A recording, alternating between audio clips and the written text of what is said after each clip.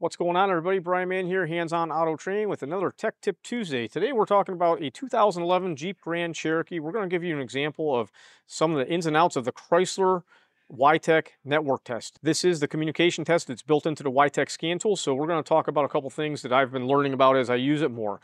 Now this particular vehicle came to us with, actually came to this shop and they called us out to help them out here with a uh, airbag light that was on all the time and also intermittent communication or should I say an intermittent window and door lock operation. We have uh, intermittent loss of communication with the driver's door module. So let's go ahead and take a look here at our pre-scan. Let's take a look at what's active and not active. Anytime we're dealing with communication issues, let's take a look at what's going on here.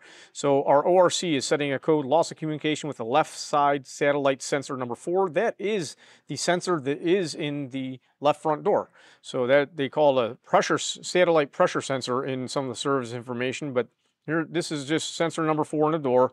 And then we also have this uh, small leak detected, stored, stored. Not worried about any of these codes uh, or the key fob battery low codes, but what I'm more concerned about is look at this. We have lost communication with the door module left from the TIPM and also a lost communication with the radio. And This vehicle does have an aftermarket radio. Here we go with our aftermarket radio. This is not the standard radio in this vehicle, so we're not going to worry about that too much. So you can see that we do have a CAN bus code and other uh, communication codes. And also the DMFL is saying loss of communication with all these other modules. So this module is kind of saying it can't talk to people too, setting a stored history code. Now in this instance, the first thing I did was go to the Chrysler uh, network or no communication test function into Wi-Tech. I'm going to show you that right now, but we also have to learn about some of its limitations. I'm going to show you that. Let's take a look here.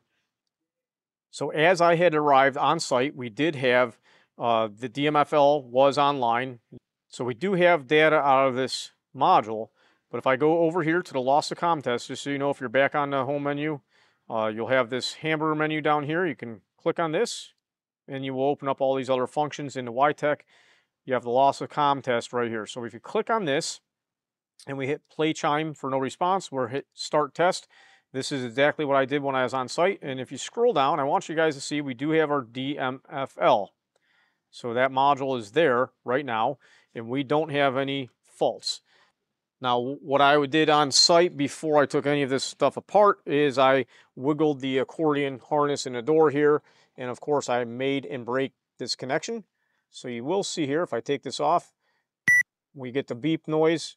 I'm gonna take it off again, just leave it off so we can go back and take a look here. So every time that this misses a communication ping, it's gonna go ahead and record that. And this is what I had done. But once I had done this, uh, I couldn't get it to act up anymore. It was actually uh, not working at all.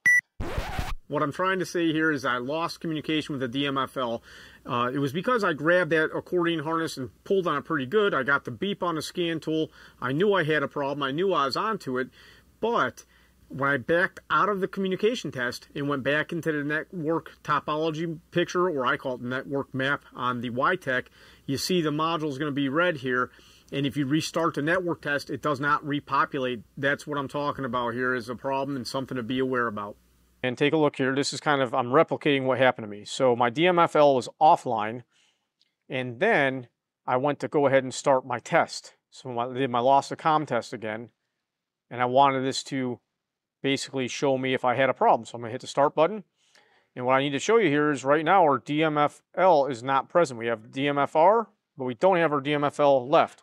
If I add this module back online by reconnecting this, uh, this is the CAN bus for it, I believe. Retest that, reconnect that. I heard a beep. However, I don't think that module is being listed. This is where I got confused because I did hear a chime but check this out. We don't have a, they have one fault with the ORC, which is interesting. But this is where you can get confused because we had this test started without having communication. You have to have the module communicating before you start the test. So right now that module's offline, but as we rescan the vehicle, this is where the, the money shot is here for y'all. As we rescan the vehicle and this module comes back online, now if we go back into our uh, network test or no communication test over here, loss of com test. We click on this. Now we go back in here and hit the start button. And now our DMFL is going to be present. You see it's right here. our DMFL is present. And if I go ahead and pull this thing off the network again, you will see the beep. So this is really important to understand. Let me go ahead and stop that chime so we don't have to hear that. I think this is super important for you guys to make sure you understand this because if you're over here testing it and you ID the vehicle and the module is not communicating, it is not going to show up on the network test and that will leave you hanging. Even if you do have communication come back, it's not going to show up on this list and you won't know if it's missing communication or not. So that's the tech tip for this Tuesday. You guys have a great day. Bye-bye. I did fail to mention the other circuit here is for the uh, satellite sensor. You can see this left front impact sensor over here. Satellite sensor is right here on the door. And that's what that other uh, wire is for. There all are also other wires that are compromised. Hopefully you can see the crack in the insulation. So this is going to be a problem for this vehicle. All these harnesses, uh, or should I say all these circuits need to be repaired properly.